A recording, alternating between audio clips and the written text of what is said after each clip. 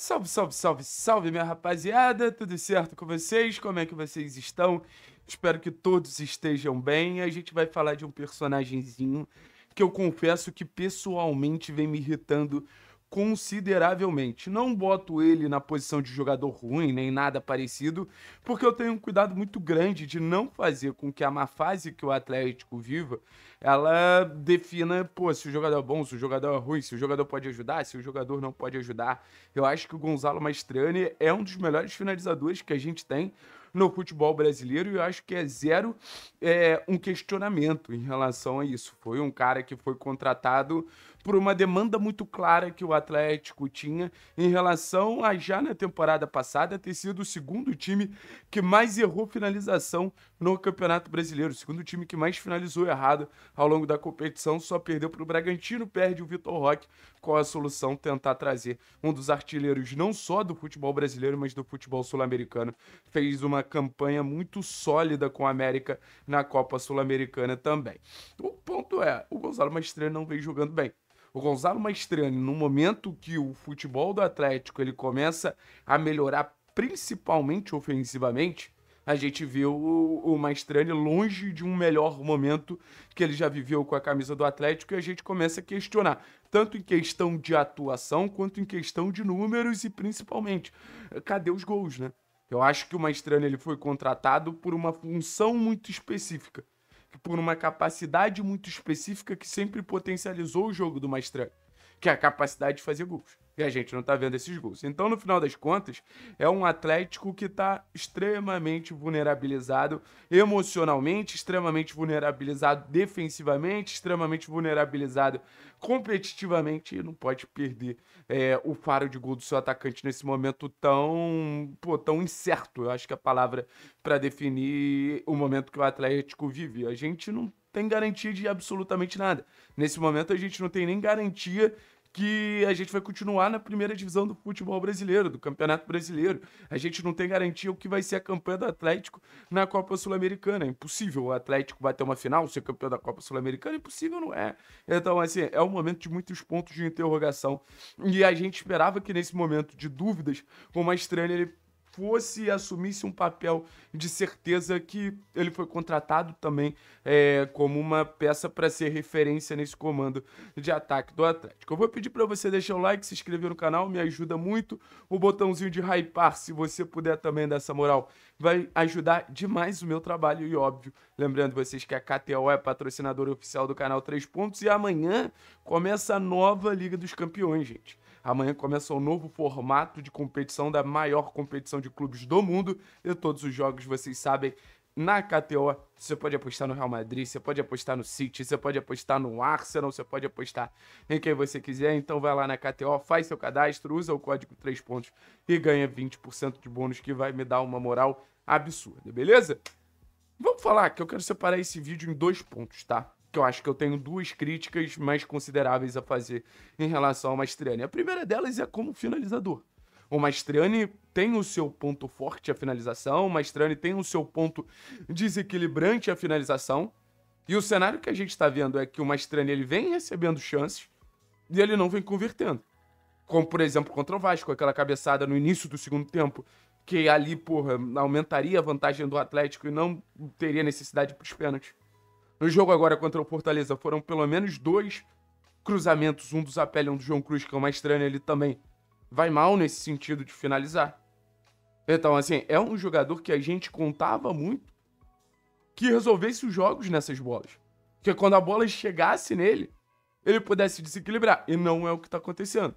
Então, acho que nesse sentido, acho que a cobrança tem que ser até maior. Um jogador com muita capacidade de finalizar, que não está demonstrando essa muita capacidade. Então, assim, a gente está vendo uma das nossas principais peças não sendo fundamental no que ele mais sabe fazer. E, pô, me veio muito na cabeça o momento que o Germán Cano vivia no Fluminense. O momento que o Cano vivia no Fluminense basicamente tirou ele do time titular. Não sei como é que tá agora, mas a reação do Fluminense foi muito a partir do Cauã Elias. Não tô falando que tem que barrar uma estranha. Mas eu acho que é um ponto semelhante. Dois bons finalizadores, dois caras que dominam a área. E tem um momento de queda muito claro ali. No seu principal mérito, que é saber finalizar. Então, hoje, em muitos momentos, o Atlético é um time que cria. Nos últimos tempos, é o time que mais cria no futebol brasileiro. E é um time que converte pouco. Assim, eu não tô falando que todos os gols perdidos foram pelo Maestrano. Mas eu acho que o cenário ideal para um atacante no Atlético, ele tá acontecendo. Agora também vai do Maestrano converter as chances que apareçam para ele finalizar e mais do que isso. Agora vem minha outra crítica, participar mais do jogo. A impressão que eu tenho é que o Maestrani ele sempre está muito desconexo da partida. A impressão que eu tenho é que o Atlético joga numa sintonia e o Maestrani joga na outra. Ah, Thiago, mas isso é culpa do Atlético ou do Maestrani? Não sei. Mas como a gente está falando de um em relação a 10, eu acho que o Maestrani ele deveria se adaptar em relação ao jogo que o Atlético joga, deveria sintonizar melhor, deveria interagir mais com os companheiros. E é interessante, porque o Maestrani, ele começa tendo mais assistências, tendo mais capacidade de sair da área, sabe? Só que é óbvio, é um contexto muito mais acessível para isso de Campeonato Paranaense e daquele grupo ridículo que a gente pegou na Copa Sul-Americana. Mas mostrou alguma disponibilidade para isso. Hoje eu não vejo nenhum Maestrani fazendo esses movimentos.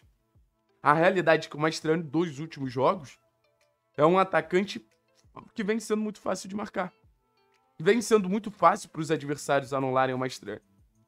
Você vê até no Diório, que é um atacante claramente pior que o Maestrani, mais participação, mais conexão com a equipe, mais disponibilidade para lutar, para brigar, para estar tá no jogo.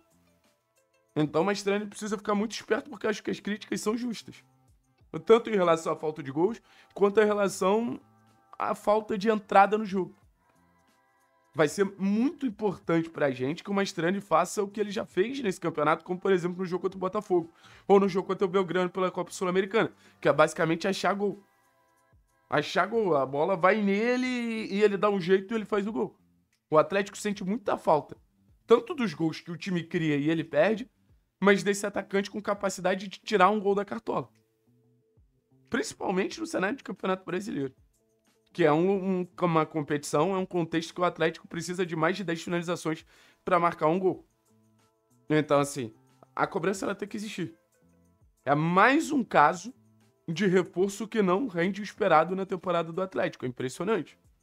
Eu acho que um debate que a gente vai ter muito na mudança de temporada, isso, claro, se o Atlético ficar na primeira divisão, em relação ao impacto que os reforços de, 23, de 24 podem ter em 25.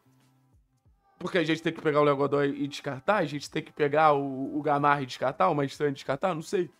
Acho que é um debate que a gente vai ter, mas o Maestrano é mais uma demonstração que os reforços que a gente tinha tanta expectativa de ter um impacto muito maior, não tiveram. Ah, isso é culpa do clube? Também. Eu falei isso para vocês no mercado do meio do ano e acharam que eu não queria reforço. Mas no mercado do meio do ano eu falava. O Atlético até agora também não foi um bom clube para os reforços. Reforço é, é, é, jogador que chega de longe, reforço é jogador que, pô, não tá ambientado ao cenário, não tá ambientado ao modelo de jogo. Você precisa ter um contexto favorável para que esse cara jogue e renda. A impressão que eu tenho é que o Atlético passa longe de ter esse contexto favorável. Enfim. Contra o, o Racing é um bom momento para o Maestrani voltar a fazer o que ele faz de melhor. Gol. Gol e gol e gol e gol e gol porque é uma peça que, por, na sua melhor forma, no seu melhor desempenho, ajuda e ajuda muito o Atlético. Valeu, pessoal. Tamo juntos, é nóis. Até amanhã. Fiz o bigode, gostaram?